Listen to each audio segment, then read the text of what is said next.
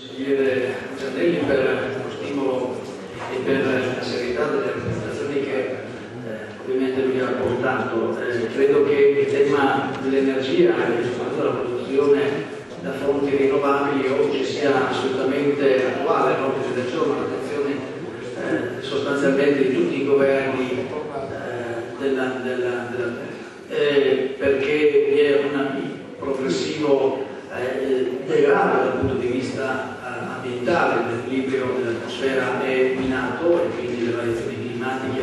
oggi ormai sono attribuite in modo chiaro e indiscutibile alle eh, emissioni di CO2 come siete passato era ancora in discussione la, la, la, vera, il vero legame tra le variazioni climatiche e le cause. Siamo in presenza di una situazione anche di progressivo eh, consumo delle energie tradizionali e siamo anche eh, come dire, di fronte, anche se in questa fase congiunturale il problema è meno sentito, a una dipendenza dal mercato, che, eh, dal mercato delle energie tradizionali eh, che eh, dire, difficilmente consente a chiunque di poter programmare con sufficiente certezza lo futuro e eh, dire, fare affidamento con una certa sicurezza no, al patrimonio che comunque esiste, perché dire, i mercati, abbiamo visto gli aumenti della benzina, del petrolio, eh, possono creare veramente delle situazioni di forte eh, criticità. Tutto questo ha indotto e spinte sempre di più sia il mondo scientifico che tecnologico, ma anche evidentemente chi amministra a orientarsi in una ricerca eh, che consenta quantomeno margini di sicurezza rivolti e tramite in termini di produzione di energia alle fonti rinnovabili e ovviamente eh, questo lo si vede anche da quello che è stato il recente pronunciamento a livello europeo del 2007 in cui si è posta l'attenzione alla necessità di eh, ridurre sia le emissioni ma di incrementare anche sia la produzione di energia da eh, fonti rinnovabili del 20% sia anche di puntare un risparmio energetico del 20% entro il 2020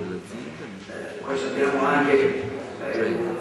l'abito che è in atto attorno a queste indicazioni, ma voglio dire, credo che sia sintomatico di una sensibilità ormai ampiamente diffusa. In Italia c'è un sistema che tenta di eh, incentivare attraverso certificati verdi e certificati bianchi la produzione di energia e eh, l'efficienza energetica e più per i piccoli impianti vi è questo adeguamento che è entrato in vigore lo scorso anno del energia che tende a premiare chi, il singolo privato, decide per la propria abitazione di installare un impianto anche di piccole dimensioni sul proprio tetto per produrre almeno una parte dell'energia di cui ha bisogno, potendo cederla eh, o recuperarla secondo, a seconda dei livelli del proprio consumo. Noi eh, qui a Pordenone eh, siamo in una condizione di questo tipo per quanto riguarda il fotovoltaico. Abbiamo installato i pannelli sull'attuale eh, sede di Abertosi dell'assessorato dei lavori pubblici, siamo in fase di redazione del, del, del, del bando di gara europea per quanto riguarda l'installazione sul nuovo asilo di Torre, per quanto riguarda la casa per anziani di Via Corvela e per dotare il centro produttivo ex di una parte fotovoltaica oltre che di solare legato alla produzione di acqua a casa, quindi solare energia.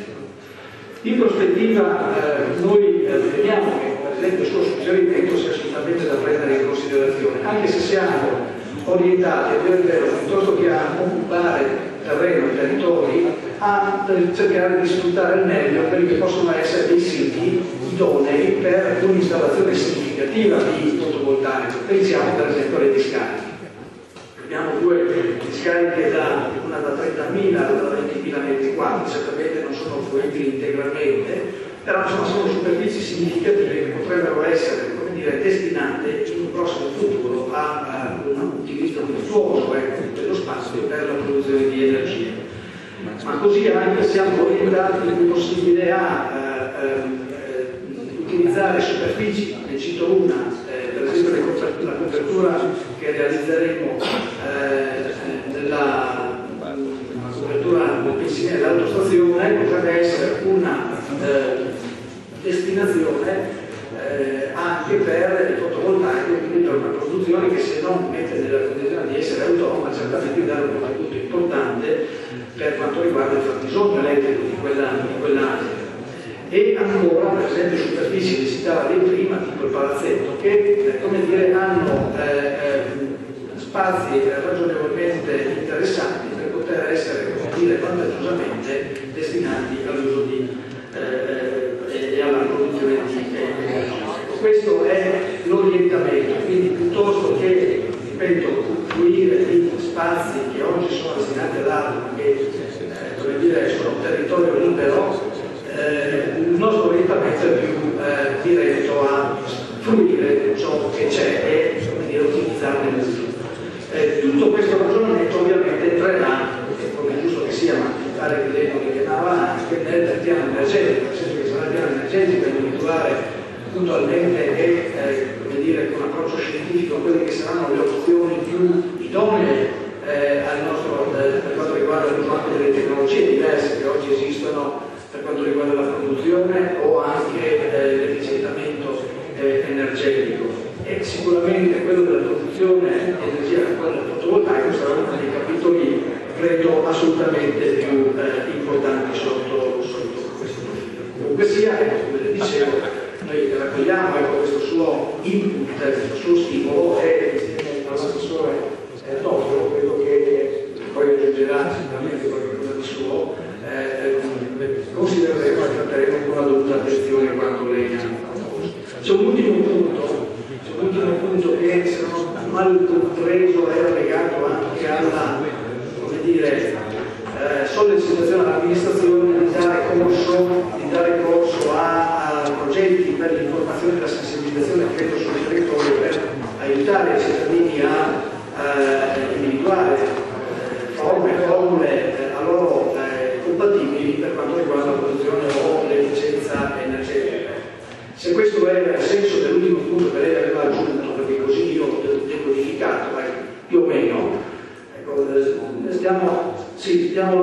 eh, stiamo lavorando insieme agli altri comuni interni proprio per realizzare un progetto che vada in questa direzione, che si rivolga alla popolazione per fornire tutti i dati anche legati alle incentivazioni che esistono, con l'obiettivo, se sarà possibile, di arrivare a dei gruppi di acquisto, quindi anche in una logica di convenienza e in una, logica di prospettiva anche a mettere a fuoco la possibilità di mettere e realizzare uno sportello intercomunale che possa essere un punto di riferimento per tutti coloro che da oggi o già anche nel prossimo futuro potrebbero essere sempre più interessati a dotare le proprie abitazioni ecco, di soluzioni legate alla produzione di energia. Io mi fermo qui,